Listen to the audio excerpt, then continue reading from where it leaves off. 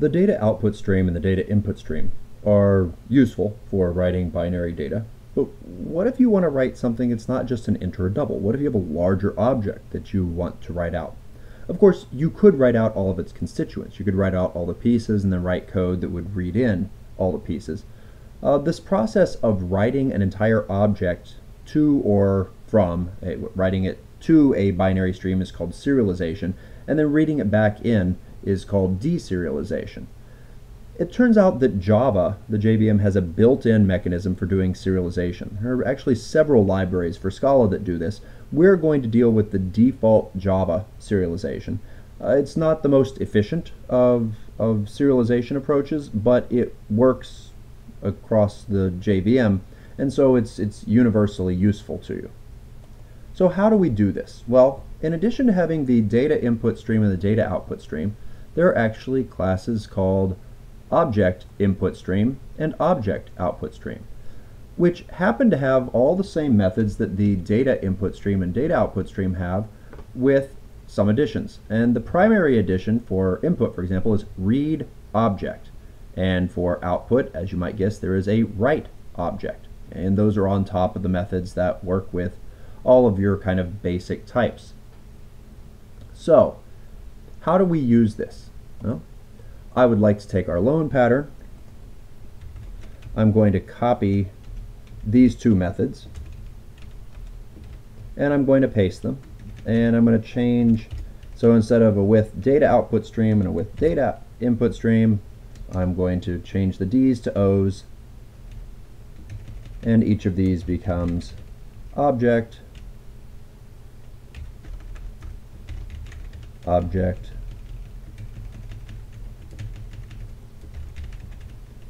object and uh,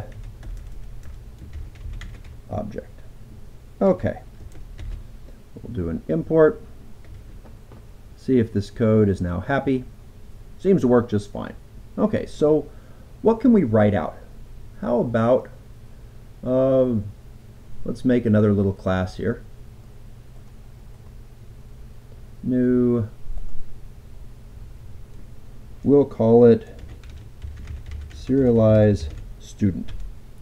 And so I'm going to make, in addition to this, a little class called student inside of here. And the student is going to have a name, which is a string, will be a val, and another val for the grades, which is an array of int. And so it would be nice for us to create, say, a new student, Jim, who has grades of 67, 97, 23, 95, 86. Some numbers. Eh, we don't really care too much about what they are. Oh, now I want to write out that student. And so I could say with object output stream, and we're going to call this student.bin. I want to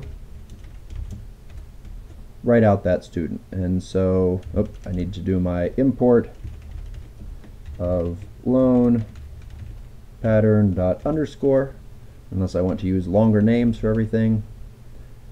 OS dot write object and I'm going to pass it our student. And then I run this. Oh, and it fails. What happened here? Well, it says not serializable exception. Turns out that in order to write something out to uh, a an object output stream, it has to be serializable. Now it turns out that string is serializable, arrays are serializable, ints, doubles, all of those basic types are all serializable. But if you make your own class, it has to extend serializable in order for it to be serializable. Basically by extending that, and no, there are no methods, I didn't have to do anything else. But that sends a message to the JVM that you really want this to be serializable. You want it so that this can be written out. Okay, now let's try running our program, and it ran. If we look in the terminal, we have a student.bin file here. It's 128 bytes, and I can cat it, uh, or we could xxd it. You'll see there's actually, there are words in here. There's an iostream.student. Well, that was the name of this class because it's in package iostream and it's student. There is a Java lang string. That's this string right here. Uh, yeah, uh, turns out this brackety stuff is the bracket i is for our array of, of ints. But then there's a whole bunch of other stuff that isn't. So grades you can see in there, name you can see in here. But there's lots of binary data that doesn't, it's, not human readable because serialization does write out binary files for us. So that was pretty simple. So what are the rules of serializing? Well, obviously it has to be serializable and its contents have to be serializable. So if I make a class and I put something in here that's not serializable and then I tried to serialize it, I would get one of those exceptions when it got to that piece of the contents and tried to serialize them. Let's try to read this back in as well to make sure that we can get back our student. Val s2 equals a with object input stream of student.bin. One thing I should note, turns out that case classes are automatically serializable. So if you make a, a case class, you do not have to um, you don't have to extend serializable. If I had just added case on this, I wouldn't have to add the vals, but I would automatically get serializable as well. So I do my object input stream dot read object. Seems great. Okay, ran. Did it work? Well, I could print line S2. Mm, well, I definitely got a student well, okay, so let's print their name. Oh, that fails. Why did that fail? Well, if we hover over S2, we see that S2 is an object. Of course, that's what read object returns. It gave us back an object. It turns out that object is basically equivalent to any ref in the Scala system, so you can switch between those two. But I didn't want an any ref. I didn't necessarily read an any ref. I read a student. But of course, we can't know that because this could have been some other file that had something completely different written in it. So I need to check to make sure that this is the right type and then do the appropriate thing. And I'm going to do that with a match here. And I'm going to match the case that I expect will happen should just give me back S.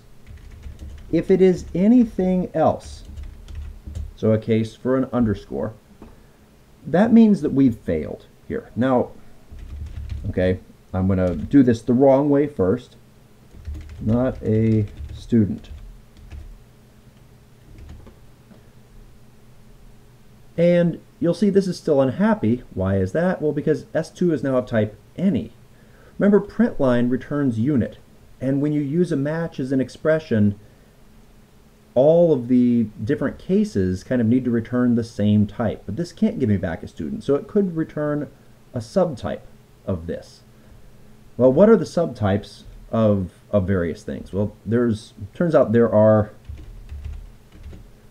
I can probably make this work in one of two ways, one of which is to use null. So when we looked at the entire inheritance hierarchy of Scala, by the way, this is not the right way to do it, but, but it works the entire inheritance hierarchy of Scala, everything that's under any ref, and I said object was basically the same as, as any ref, is has a subtype of that is null. There is a null with a capital N type, and it is a subtype of all of those. And so if I give back a null here and a student here, student is the common type that, that works for both of them. But there is another subtype. So this wouldn't work though if instead of student this were int, because null isn't a subtype of int. There is a type, though, that is a subtype of absolutely everything, and that is called nothing. But in order to get a nothing, because it turns out there is no instance of type nothing, what you do is you throw an exception, which is probably what this should do anyway. So I'm going to throw a new runtime exception. File didn't contain a student. So runtime exception is a built-in Java exception. We could create our own subtype of exception here. And because the throw basically gives back, it gives back nothing. Literally, it gives back absolutely nothing, which happens to be of type nothing because it throws an exception and totally exits this, this code. But now S2 is a student, we can print its name, and we can run this, and we get back Jim here. Okay, so that's a look at serialization we created a class, we made it serializable, we wrote it out to file, we read it back in from file, and we talked about some of the restrictions on it. We need to come back and we need to talk about what we do when we can't get around some of those restrictions or when, when we have problems, when we can't make everything serializable, what are we going to do in that situation?